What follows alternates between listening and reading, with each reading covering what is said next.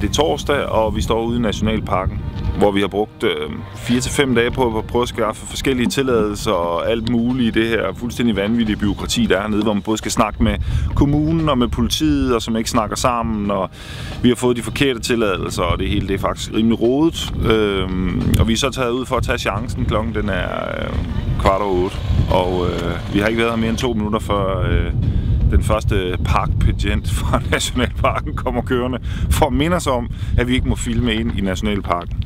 Øh, nu tager vi vores chance her. Vi har en tilladelse lidt senere på en anden vej her i nærheden, hvor vi må filme fra kilometer 8 på vejen til kilometer 9.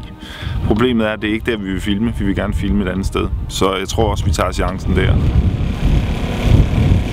Skal vi ikke lige, skal vi ikke lige lave det her? Jeg har ikke vildt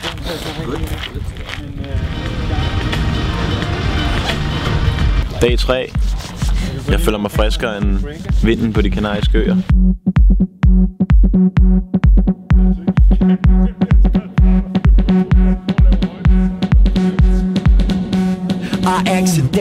Vi er lige nu ved at lave øh, det vildeste øh, shot, jeg tror, jeg nogensinde har set på en video faktisk. Med øh, sådan noget øh, aske. Og som øh, ligner faktisk nærmest nogle ildfluer. On top of my shit, just like a surfer. Cowabunga. bøsserne kommer nu. Øh, Og det sker så lige samtidig med, at vi faktisk nu har fået besøg af politiet. skyd for helvede. Okay, vi er på. Jeg lige lader den uh, brænde. Og vi er lidt spændt på, om vi bliver stoppet, eller hvad der sker. Det ved vi ikke, men lige nu kører vi bare, og så må vi se, hvad der sker. Øh, vi håber det bedste. Vi har en lokal kendt med. Han må fikse det. Og hvis ikke, så må vi bare få det i kassen, vi kan få i kassen. Når jeg kigger mig i spejlet, får jeg altid halvfed Tænker man kan være så cool, jeg har kun kærlighed For mig selv og alle andre, når jeg chiller på mit landsted På den anden side slow to 40, okay? And then after this one, he sees you with a sign, yeah? Vi er lige nu er vejen ikke blokeret, men vi er i gang med at blokere den her øh, hovedvej øh, op til øh, det største turistmål overhovedet. Vi har faktisk fået lov til alt det, vi ikke troede, vi ville få lov til, så det er helt fantastisk. Og lige nu er det et større logistisk helvede, fordi vi, der, vi har ikke politi til at hjælpe os, så det er faktisk hele crewet her, der sørger for at dirigere trafikken på den her vej.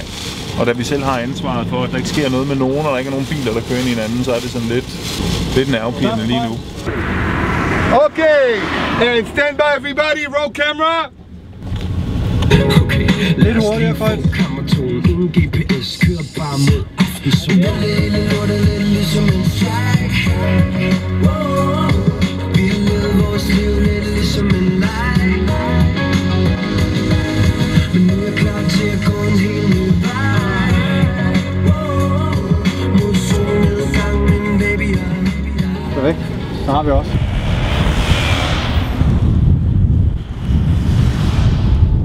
Er nu ved den aller sidste ting, vi skal lave. Øh, Mirador, udsigtspunktet helt op på den nordlige del af øen.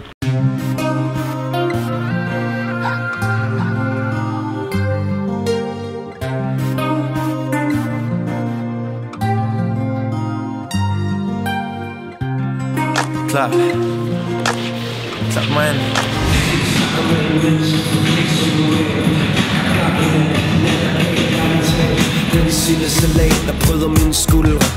Glimter i solen, gør mig lige det cooler.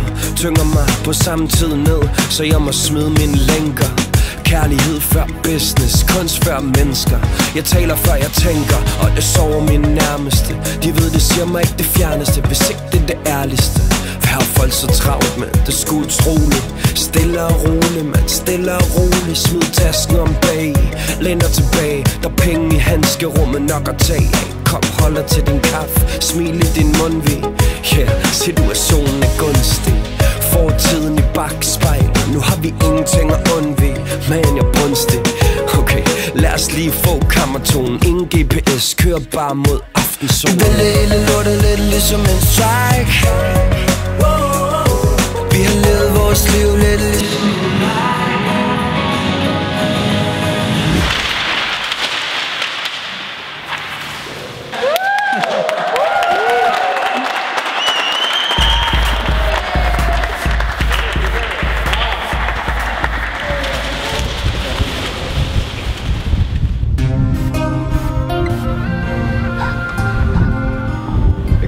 Afslutte afslutte videoen på. Lad os se, hvor vildt det ser ud, det der. Prøv at se ned i vandet.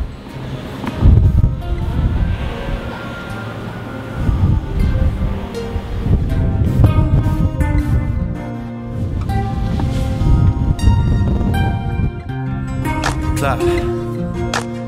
Klap mig ind. Okay. Det her er ikke reality tv No, lad mig fortælle Ser du, min virkelighed er et show i sig selv Og når man er så højt op Kan der være langt ned. Så jeg prøver bare på at få champagne til at være ved. Jo, jeg vil fejre livet.